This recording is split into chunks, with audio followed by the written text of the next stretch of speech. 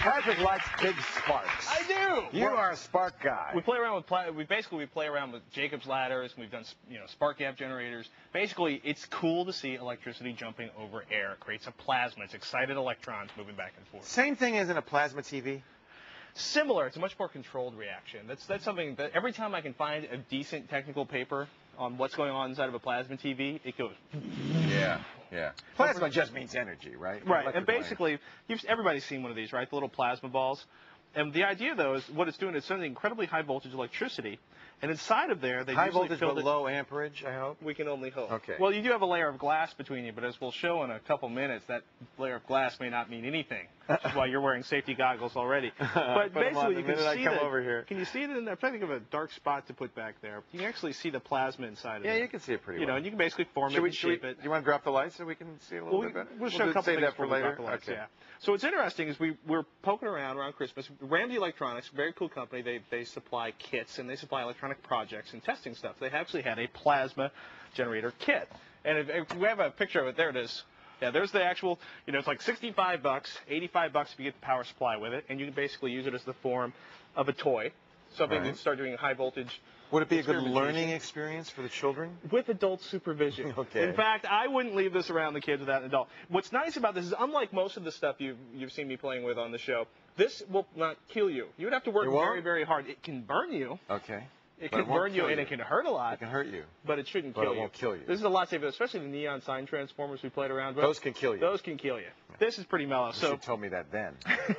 well, you know, if I do that, you know, I it's like the whole thing. That's right. But if you take a look inside, we, we popped open a plasma ball. That's basically the what generates the electricity down in the bottom half of there.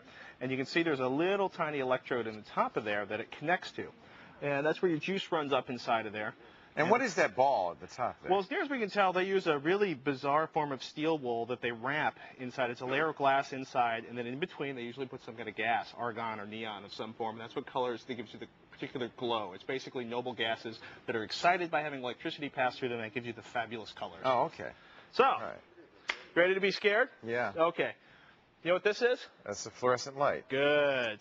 So this is our plasma generator. Normally we would connect it to the see the little ball there on the end. Yeah. You would do that to connect it to. We're going to do a couple of experiments with it, so we're actually going to use it loose. So, if is it sending here- out electric electrons, or well, what is it doing? yeah, this would be a good time to start dimming the lights. Okay, because it's actually you're now going to excite that uh, the fluorescent. Oh, look at that! It's arcing yeah, right that's, over that's the spark right there. But and it's actually turning on the light bulb. well, now it's really turning on the light bulb, and we get a nice spark in there too. Kind of turning me on too, actually. Well, why don't you Very stay over there? Back, back, Laporte.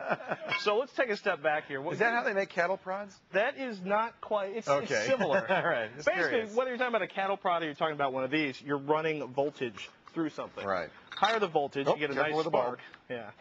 Yeah, this is a, your basic ceramic bulb plate. This is all stuff you can find in the local hardware store.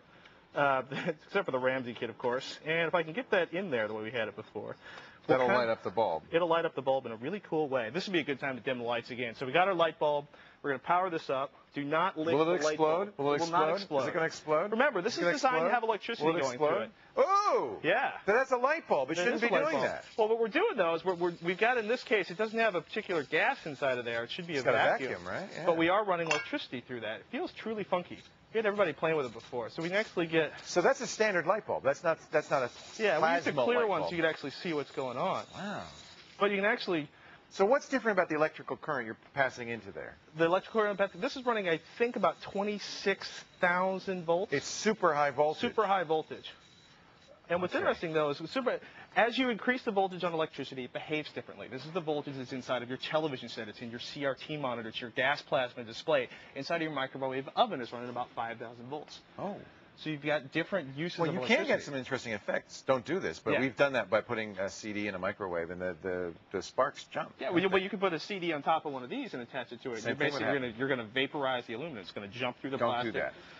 Actually, it's really fun. mistake. What I like about the guys, that, the, the guy who did this at Ramsey is very cool kit, very easy to, to follow along. Kids, get your adult supervision Obviously. in there. But it's a really fun, and we actually have a picture of all the parts, the before and after. So could you make a plasma ball with this? You can make a plasma. You, this is basically the power supply for the plasma ball. There's the kit up there on the screen. I see. If you really wanted to create a plasma It'd be ball, fun to put a these, plasma ball in this head. It could, and if we can, if we can find a neon shop, what you would need it, to do, right? you'd have to seal it. You'd have to create a tube in the bottom of it to allow you to suck the Right. Out of it. But the really interesting part is, is like you pointed out, getting the electrode right in the middle of there, 'cause that's where the electricity is going through and being dispersed. Very Fun, fun, educational, neat, and you know what? If you're terrified of high voltage, there's a lot of other kits you should check out. Thank you. We got details on plasma and generators and links all up at thescreensavers.com. And